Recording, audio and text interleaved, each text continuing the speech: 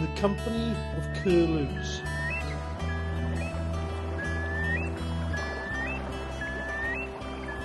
Chapter 8 Falling Down Spies and Seals.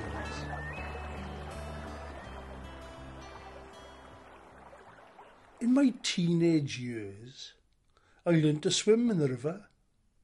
Thought I needed to swim like a salmon to catch a salmon. Not a nice experience, mind.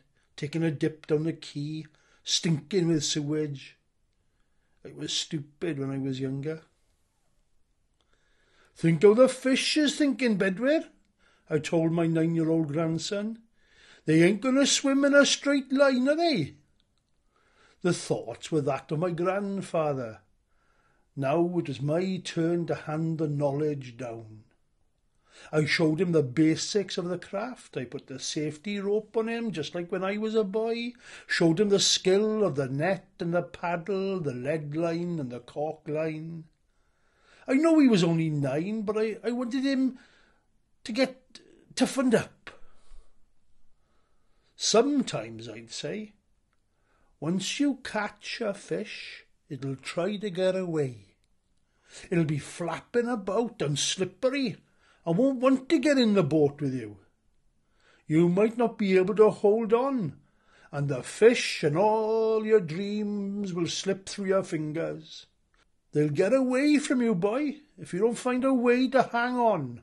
Well, he looked at me as if I was talking double Dutch.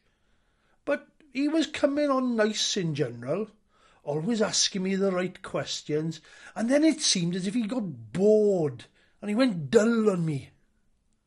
I'd be telling him how he would have to learn from his mistakes. Your bad nights will teach you as much as your good nights, as long as you think about where you went wrong. What could you do to make things better the next time? And he'd say, Why? I suppose I hadn't thought it through. I didn't have all the answers. A bit clumsy like that. I couldn't always remember what to say. Why he'd ask again. Well, I lost my temper, I did. Raised my voice, I didn't have the patience. Just listen, will you, Bedwyr? Don't ask so many damn questions, man. He started to blub. His behaviour reminded me so much of my brother Anthony. Come on, I'd say. Don't cry now. Enough of this fishing. I tell you what, see if you can tackle me. Go back there now and come at me. He loved his rugby. He run at me, banged into me, and I fell down easy like a sack of spuds. I made a meal of it. He laughed and I laughed with him. Come on, I'd say. Let's go to the pub, have a drink with your mum. I'll get you a weak shandy, boy. He held my hand and we walked up to town. In the traditions and beliefs, some people may say superstitions of Carmarthen coracle fishing, is that the seal of the river carries the ghost of one of the old coracle men in his bosom. And when that seal dies, the spirits of the two go together to heaven. Uh, the years pass and we all get older. And the day came when a man I loved died. Owen Pwllti was ninety-one years of age, and I was nearly fifty. You were lucky to have him so long, they said. It's a blessing. Pneumonia got him in the end. Something's going to get you for sure. The Germans didn't get him in the Great War the bullets and the shells of the Somme. Nah. Worked hard all his life, fishing on the river and down the mines digging coal when the fishing was out of season.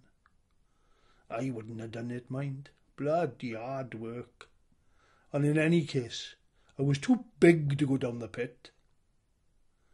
He reckoned he did his bit in the other war too. Aye. The Coracle boys were always told by the authorities to be vigilant on the river. Spies, he told me. The captain of the Home Guard said that the river could quite easily be a route that the spies would take into the darkness of the night, and to look out for the Boche U-boats. They could infiltrate the countryside. Sounded like something Captain Mainwaring would have said. So, my grandfather said, I went out fishing every night on army business. Never found any spies, mind, but I kept looking every night. When I was older, he told me that I was not to breathe a word to anyone, mind. I don't know why, but that's what he said. Why, I said. Just listen to me, boy, he said calmly. Boy, he called me, mind. I was in, in my forties. During the war, he had been trained in the Home Guard. If the Germans had, if the Germans had invaded, he stuttered. Oh dear, he'd had a few when he was telling me this, mind. Three sheets to the wind he was. I wouldn't have been able to fight. I can help people, he said, first aid and all that, but I could never kill someone or anything, to be honest. I know I kill fish, but I need the fish feed my family. He stopped. You could see him pondering. I think I'm a pacifist, he said. If push came to shove and they threatened my family, that would be another story. He mulled over what he was saying. Who threatened the family? I said flippantly. The fish. The fish were going to attack Nana. What do you want about, you drunken fool? I laughed, but he didn't. Don't let yourself down, Jac. He paused, obviously thinking of the past. I could have saved so many more, but they didn't give me time. When you went over the top, you had to leave those who were dying. You had to keep going. The drink had made him fuddled. He rambled on, not making any sense. Ah, away with you, he said to me.